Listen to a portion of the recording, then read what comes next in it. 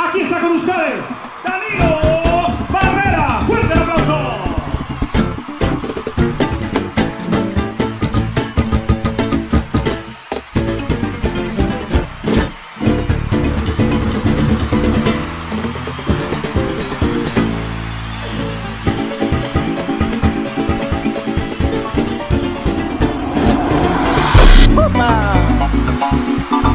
El hijo de